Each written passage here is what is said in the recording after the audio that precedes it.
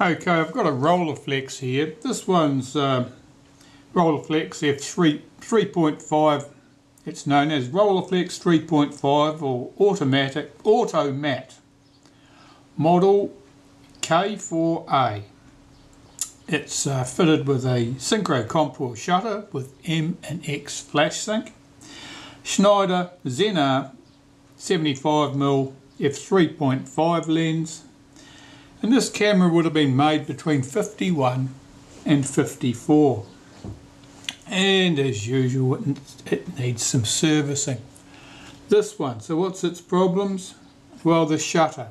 The shutter is probably the most obvious problem and the most obvious problem with the shutter is that the slow speeds are all the same which tells me that the uh, arm on the retard gear train is probably just stuck in so that it doesn't uh, swing out to its normal start position and therefore it, it is not running down. It's already run down, so the speeds are all quick. Anything else? Well, it's a few big croppers ice bumps there on the leather, on the wind side. That'll certainly need some attention. There's something wrong with the focus mechanism. There's a bit of backlash. And that front standard wiggles. As I move the focus knob backwards and forwards, you're getting plenty of movement on this side. This side's lagging, it's doing nothing. So there's certainly a problem with the focus and I'm going to have to deal with that. Anything else? Well, nothing particularly obvious from the outside but quite likely there'll be stuff on the inside that needs to be dealt with. I'm going to start by removing the front panel so that I can access the shutter because certainly the shutter servicing is comparatively straightforward for me and um, it's a good place to start. Now, I'm not familiar with this model. I don't haven't worked on one of these before, so it's slightly different from the Rolleis I have worked on. I believe that I don't need to remove the flash sync lever or the shutter release in order to uh, lift the front panel off. I've just got to peel my leather back to this point so that I can remove the four screws that hold this to the mechanism, the mechanism underneath. So the only thing I've got to remove in order to deal with that is this button at the top here, which would be for setting the um, self timer. Now I've already loosened that, so it's just spinning off with my finger. If you look at this, you'll see that there's two little notches in that screw. Now how are you going to get that, that? Now there's various options. You may be able to get at it with the tip of a pair of tweezers. Doubtless there's a nicely crafted Rollei tool that just engages that very beautifully. I got it loose with a pair of needle nose pliers that have had the tips very heavily reduced at the ends to thin blades.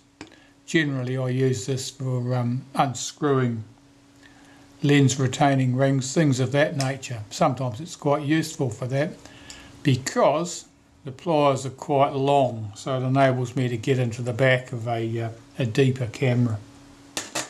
But that having been said, all I need to do is loosen that screw which and then that just spun off with my fingers after that. That was very simple. You can see some green corrosion on the back of that. That's neither here nor there. We'll pop that to one side.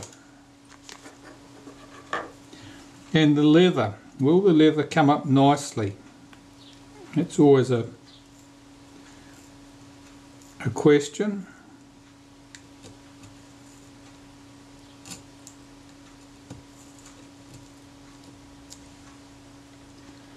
I don't know much of the history of this camera. It may have been serviced previously. I expect it has. So it's anyone's guess what's been used in the way of glue to hold this leather down. It's not exactly peeling away easily. I'm just going to put a drop of naphtha down there, cigarette lighter fluid. And if that is a, a later, a later adhesive, that may well soften it and allow me to peel up the leather. If it's an old adhesive, it might have no effect at all.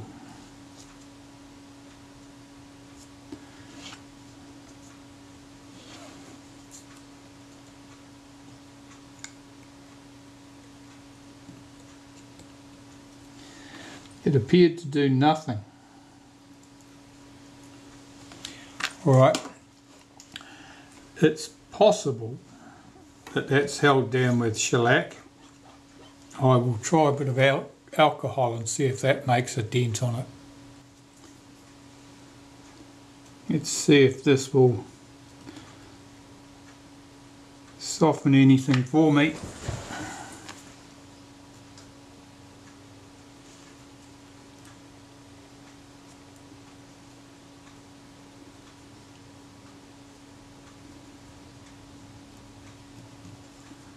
Well, it looks promising.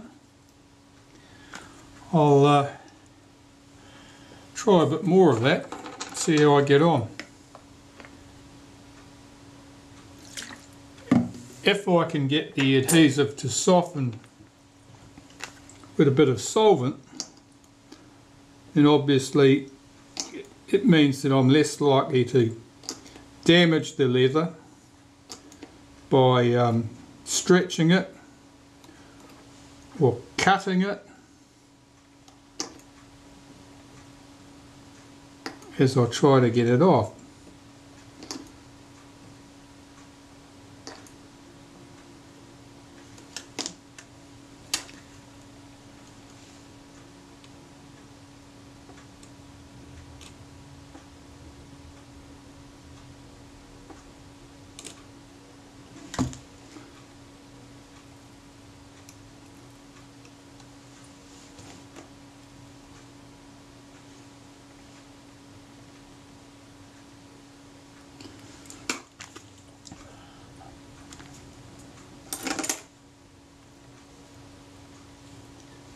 That bit that I've folded back, I can have a look underneath it at the fibres that are still stuck on the camera.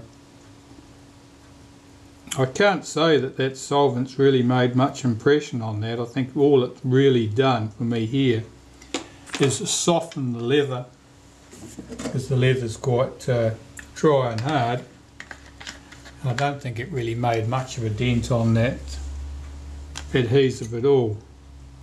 Which means and I'm back to using my scalpel to scrape under the leather to get it off the, the metal. That's not the end of the world. It's just not as easy. And those noises you hear, they're me scraping that scalpel right down against the metal as far as possible because I do not want to have the scalpel come up and cut through the leather. That leather's glued on quite well. Yeah, I'm being successful in getting that lifted off though.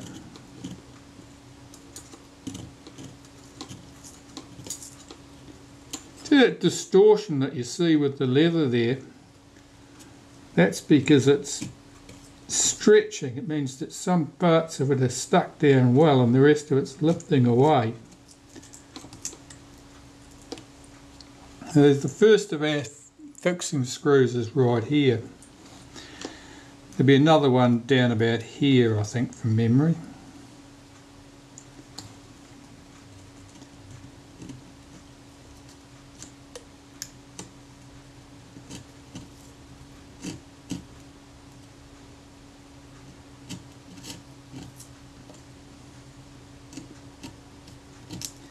Now, generally speaking, I'd much prefer to remove these obstructions first so I can lift that leather off entirely.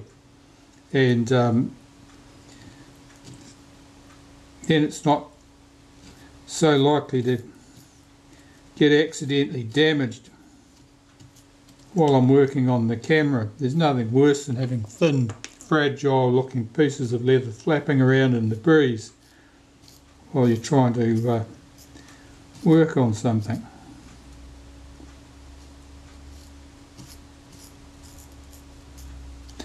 Once I've got the front of the camera off, I'll be able to investigate exactly how these two components are fi fixed. Not the lever, that's obvious, but the boss underneath it appears to be screwed down over the leather.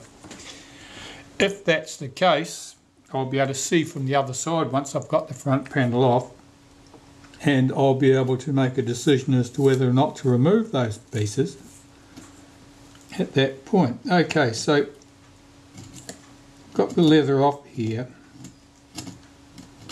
and there's the screw I need to get to is at this point.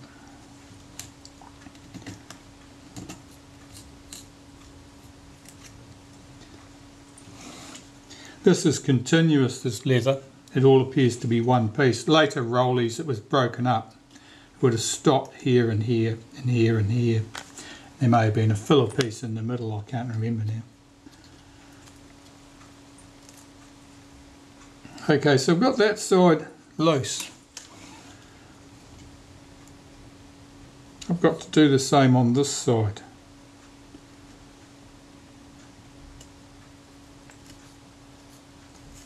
Now there's a cut in the leather here to expose that arrow.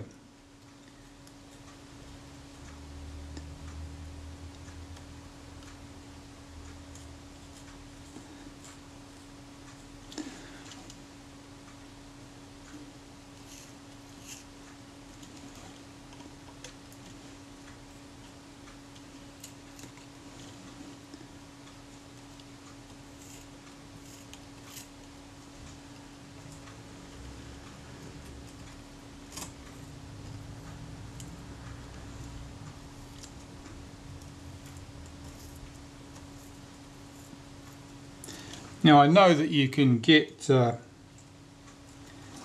aftermarket leather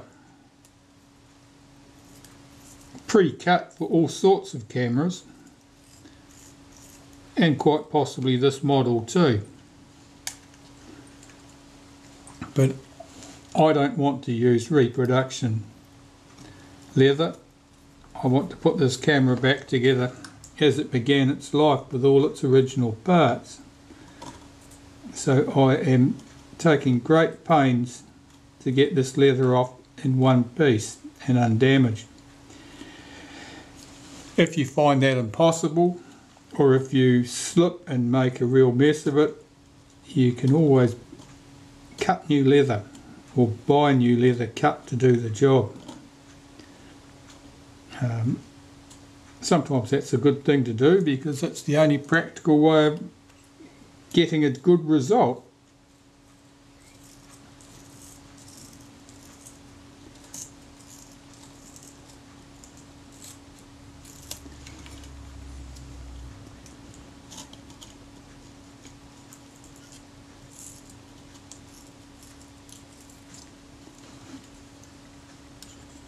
This is very well stuck.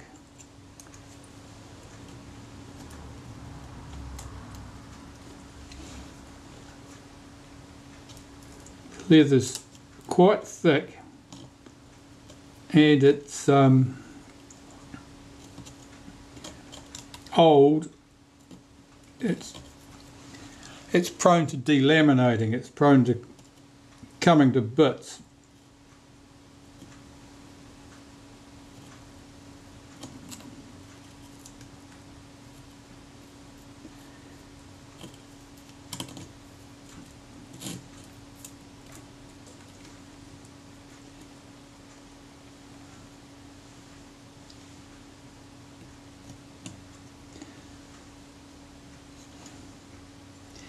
where is that screw? I can see one screw here the other one, I'm not seeing it.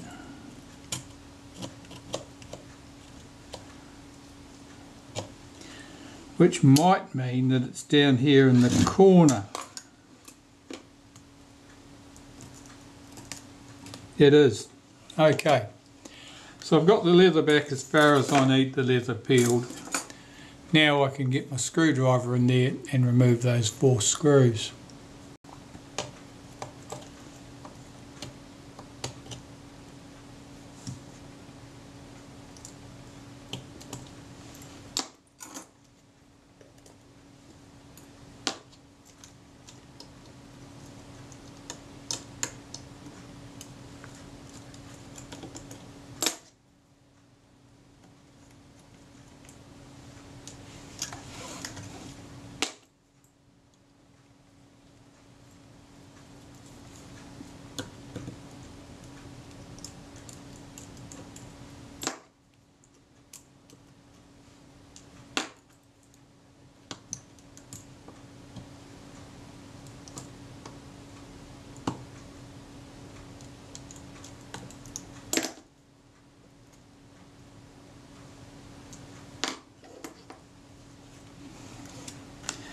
Okay, let's see if the front panel will lift off.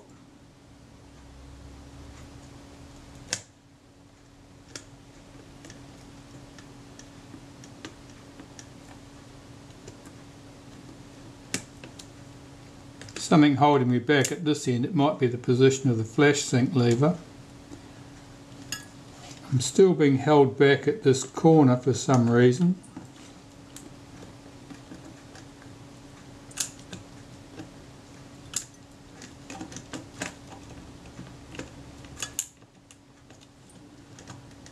I'll have a peer underneath and see what I can see.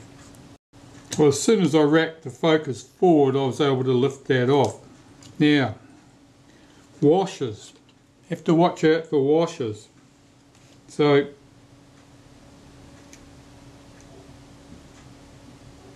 seeing what I've got here.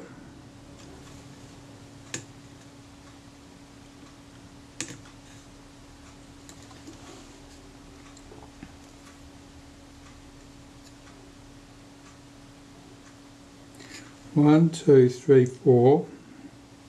Okay, so I've got to make note of where all these washers are. And put measure them and put them aside so that I know where they've come from really.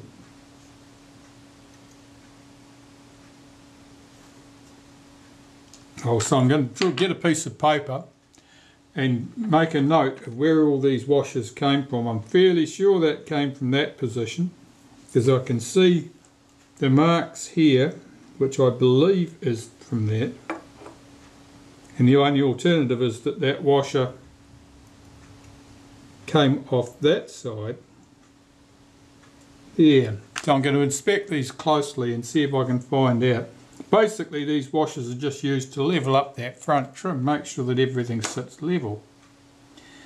Um, the real important positioning is this front standard relative to the struts that push the front standard backwards and forwards as you adjust the focus. That's the critical stuff because that determines the uh, making sure that the lens is square to the film plane. These spaces at this piece here basically only just um, level up this front plate which although it looks pretty and it's important in its own way it uh, doesn't actually make any difference to how square the lens is to the lens board. So I'll check these washers, make a note of what I've got, write it down and then I can lift them away somewhere, put them somewhere safely where I won't drop them or lose them and can come back and put them back in the appropriate places later. And it may well be I decide that I want to use a different shim in order to level it up. We'll wait and see. Well, looking at the shutter release piece here, it looks like that chrome boss. It appears to be sitting on the leather maybe in fact sitting in the leather. The leather may be fit, yeah, the leather fits around it. It's not screwed down onto the leather, so it's lucky I didn't try to unscrew it because it doesn't unscrew, it's staked in. So the leather would actually lift off over that piece. That's good to know. And the leather goes around the latch here. It doesn't go all the way to the front. I expect that I can lift that lever off just simply by undoing that screw. And this leather here almost certainly goes around this boss rather than under it like that too. Or if not that boss may well lift off once I take that lever off. So that's interesting. It's lucky I didn't uh, do anything rash there like try and unscrew parts that were clearly not meant to unscrew now this piece what have we got on here that's of interest well obviously we've got the uh, the lock for our shutter release. Um, I'll probably want to tighten that up because it's a little bit floppy. Here's our M and X sync lever, settings lever. And then we've got the wheels that give us our settings visible in the window at the top. And they're obviously linked in the middle there you can see this is where it would change the settings for our aperture and shutter speeds. So that's good. I can put that thing to one side. That's only uh, less of a problem than this.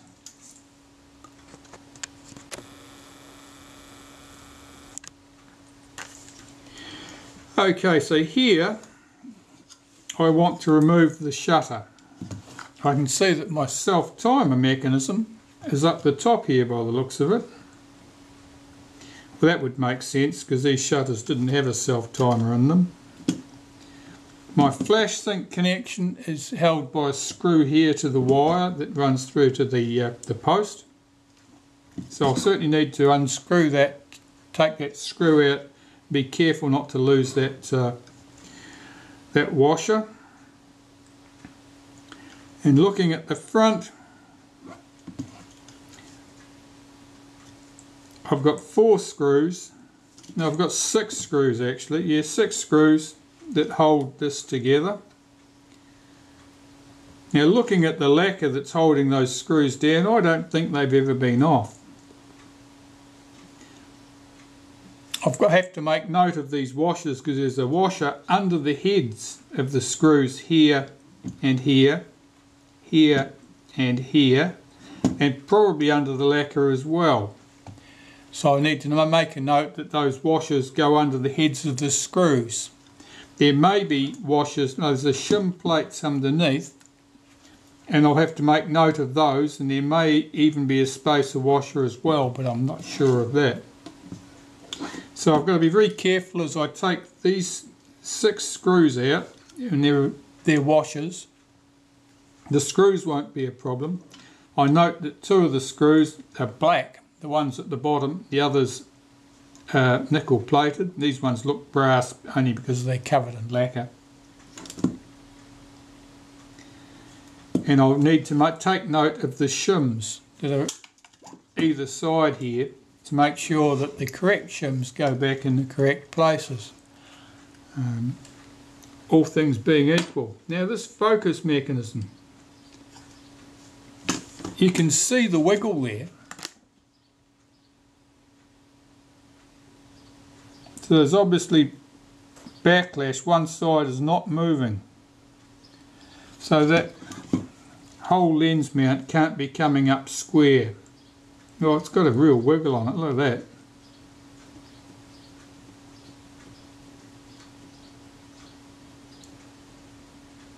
So that's certainly going to need some attention.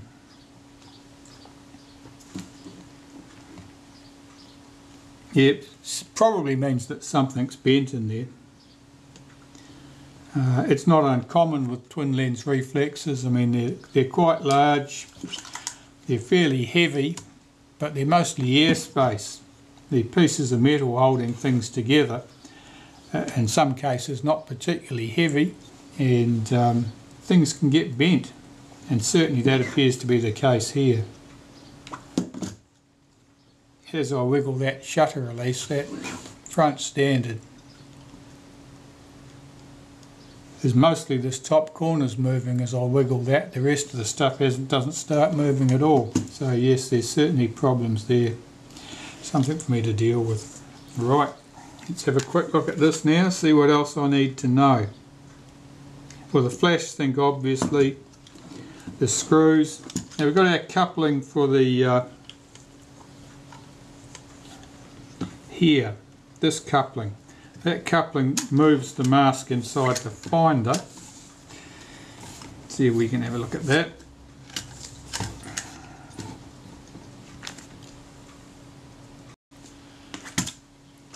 That coupling here couples to an arm which works for our parallax, parallax correction mask which is visible in the finder. I don't think I can really show that to you here but basically the mask moves, covers up the top or the bottom of the glass viewing screen and that shifts as you move the focus basically to compensate for the fact that the lenses are not at the same heights of course. Okay, let me see about this front standard, get these screws out. I'll put some acetone on those screw heads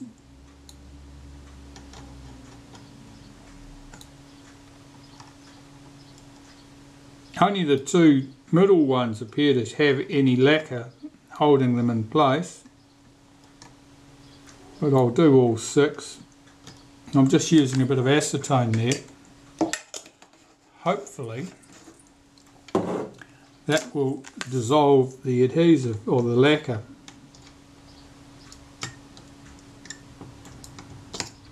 That lacquer is really thick and it's quite hard. It is softening. It's difficult getting my screwdriver into that slot. Yeah, it's very sticky. It's certainly melting. To clear out that screw head, otherwise I can't get my screwdriver in there.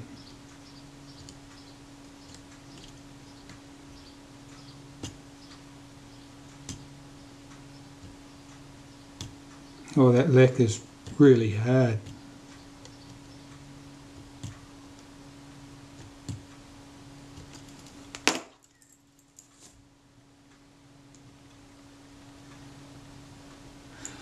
I'll try something else on that.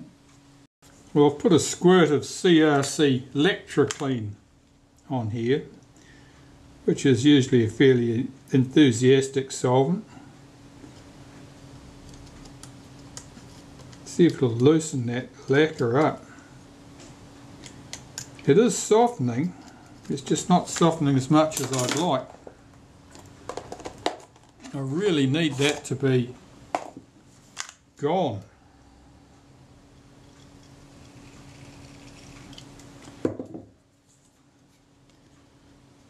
It's not even the visible lacquer that I'm concerned about, it's what lacquer has run down underneath that screw head and the washer and is locking the screw in place.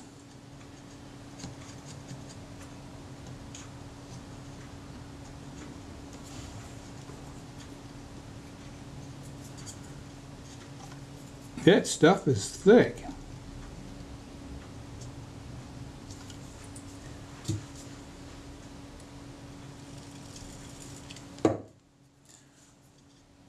I may have to use another method. If I can't get this free like this, I'll have to use some heat. And what I'll do is I'll uh, put a soldering iron on the top of that screw, which would soften that lacquer.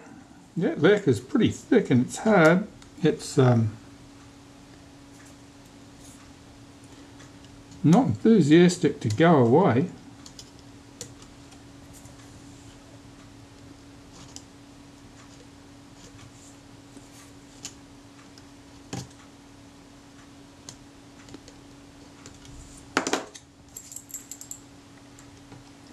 Of course I can't apply a lot of hard downward pressure on this because I don't want to uh, bend anything.